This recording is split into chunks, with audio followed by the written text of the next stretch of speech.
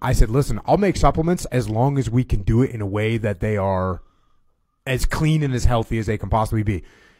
Because there was a time where I was taking supplements years ago and a report came out about the supplement that I was taking saying that it had heavy metals, excessive heavy metals in it. And not only was I taking this supplement, You were I was recommending it to other people. I I was giving it to my children. yeah. You know, I got four kids, and my kids were drinking this protein shake all the time, all the time. And then I find out that it's got heavy metals in it. So I was, I was pissed. And so when they asked me, they're like, "Hey, do you want to make supplements?" I said, "Yeah, I'll do it, but we got to make them like as clean as you can possibly make them."